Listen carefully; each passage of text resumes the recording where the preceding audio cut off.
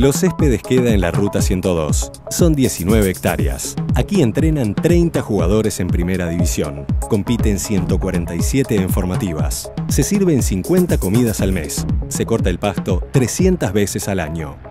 En este lugar se cultiva la gloria desde hace 45 años, pero hoy el número que nos interesa es el 200. Los Céspedes, el complejo deportivo del Club Nacional de Fútbol, tiene hoy la oportunidad de transformarse en un centro deportivo de nivel internacional.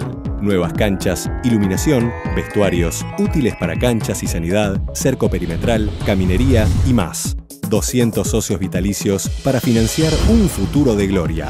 Vos tenés buenos jugadores en buenas canchas, se supone que el fútbol que queremos todos los uruguayos va a salir mejor. Se escucha hablar de la, digamos, la precariedad técnica de los jugadores en el fútbol uruguayo, o las dificultades, o las carencias, digámosle mejor. Y, muchas de las canchas donde se juega en el fútbol juvenil o formativo eh, son muy precarias. El Club Nacional de Fútbol merece tener un complejo deportivo acorde a lo que son complejos deportivos de otras latitudes del mundo. Partimos de la base que tenemos un complejo deportivo de 19 hectáreas. En los últimos años ha cambiado por la ruta perimetral, o sea, está en un lugar estratégico. Perfectamente puede transformarse en un complejo deportivo de primera generación. El complejo que había en el Inter era realmente era impresionante, entonces digo, era difícil decir que, le pegabas mal o decir que la pasabas mal. Y cuando tenés todas las, las posibilidades de tener un complejo bueno, de tener canchas buenas en este caso, eh, como que ya no tenés muchas más excusas para, para poner. A mediano plazo, dispondremos de cinco canchas de primer nivel con drenaje e iluminación, lo que permitirá mantener en óptimas condiciones el pavimento deportivo con el objetivo de maximizar el rendimiento de los jugadores, el trabajo de equipo y alcanzar los mejores resultados en la cancha. Un buen piso te ayuda a tener buena conducción, buen entrenamiento. Para nosotros es fundamental tener buenas canchas.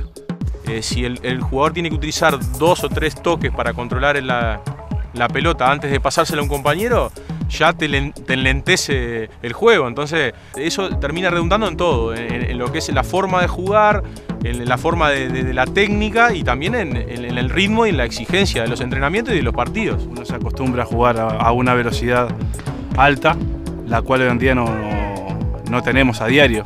Jugar rápido, tener buen dominio y que la pelota salga rápido del medio. Creo que, se juega como se entrena, entonces es importante entrenar de la misma manera a, cómo después vas, vas, a estar el fin de semana en la cancha, ¿no? en el partido. Lo ves en, un pase, cómo corre la pelota. Eh, el jugador cuando tiene buenas canchas, digo, no se tiene que andar preocupando a mirar la pelota, puedes estar hasta un poco más adelantado con lo que se viene porque eh, sabes que la pelota que te viene que viene derecha a tu cuerpo no, no va a picar y se va a levantar. Eh, los campos de entrenamiento tienen que ser de la misma calidad que en el campo donde vos competís. Los, jugadores van a, jugar de la misma manera que, que, que entrenan y esa es la idea. Dispondremos de una cancha 3 en 1.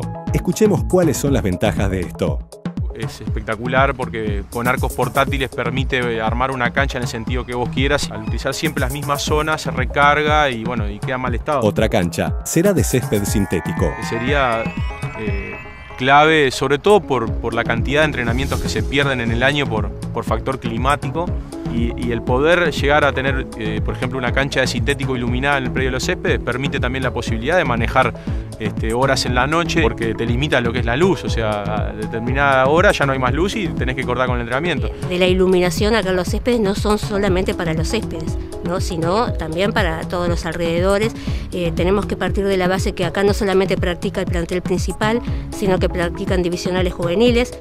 Esta infraestructura permitirá al equipo técnico coordinar el trabajo en función de objetivos deportivos y no en función del clima o la caída del sol. Tener un complejo deportivo de primer nivel el trabajo va a mejorar, el club va a mejorar, todo va a mejorar y por, ende va a repercutir en el campo de juego. Eh, tener esa, esa, calidad de infraestructura que ningún equipo la tiene, este, también es, una atracción para los mejores talentos de que hoy en día están en el fútbol o en el interior, en las ligas del interior. Y posesionar a Nacional realmente donde tiene que estar, donde la gente de Nacional pueda venir y pueda tener las comodidades para ver un partido de la mejor manera. Realizada la primera etapa del plan maestro de obras, el complejo dispondrá de un mini estadio para para formativas, gradas de césped, zona de filmación para partidos y entrenamientos y nuevos vestuarios que habilitan todas las canchas del sector de formativas para partidos oficiales de estas divisiones. En este momento nosotros tenemos una buena cancha, pero no tenemos, no tenemos tribunas, o sea, a veces las familias de los chicos no vienen porque es un tanto incómodo. Las nuevas instalaciones permitirán realizar las pretemporadas en los céspedes, generando importantes ahorros en viajes y alquiler de instalaciones. No te darían ganas de irte nunca, porque bueno, estás en un club donde prácticamente te criaste, en tu país, y encima tenés las, las ventajas y las comodidades que tienen los mejores equipos del mundo. Y sería también en parte un ahorro porque vos fíjate que al aumentar el número de canchas y tener a Nacional acá, no implica el gasto de alquiler de cancha, que durante 20 años acá en los inviernos siempre vi que se pagaron alquiler de cancha, traslado, todo movimiento que hay que hacer para una práctica. Este, en Uruguay, lamentablemente por el clima, hay meses en los que se nos hace a veces imposible poder entrenar de la manera que queremos, porque los meses de mayo, junio, julio y algunas partes de agosto eh, llueve tanto y la humedad es tanta que a veces no podés desarrollar el fútbol que querés y tenés que entrenar en lugares que no son los adecuados. Todas las divisionales podrán entrenar y convivir en el mismo predio, creando un espacio de identidad tricolor y ejemplo para los más jóvenes.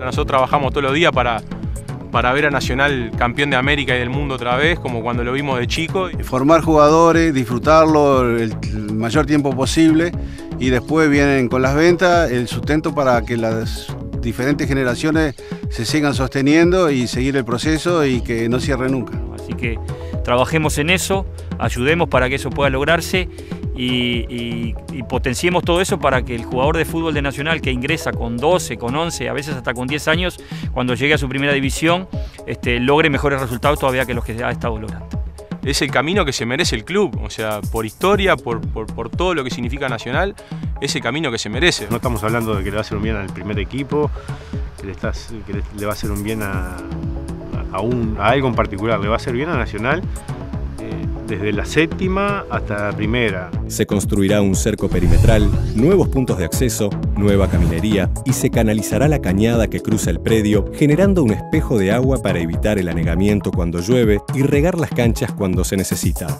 Un entorno de privacidad para los entrenamientos, amigable con el medio ambiente y propicio para la concentración y el trabajo. El plan de horas es lo mejor que le puede pasar a los céspedes, al plantel y sobre todo a las divisionales formativas.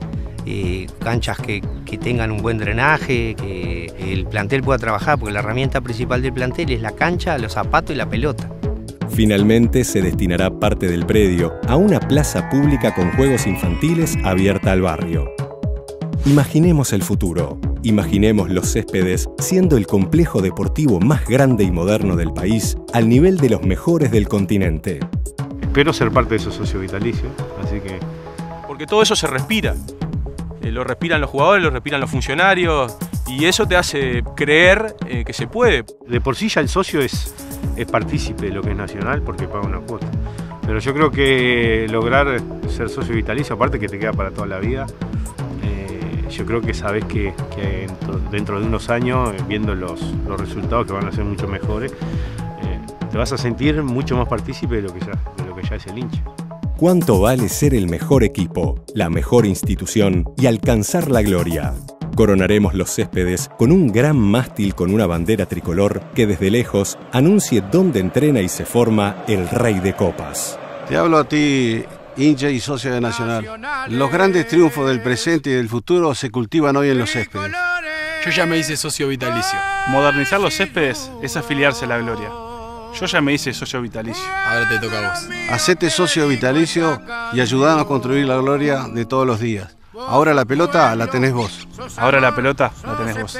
Campaña 200 socios vitalicios, mecenazgo y más herramientas para financiar un futuro de triunfos. No te quedes afuera de la gloria. Hoy yo quiero cuadro mío, tu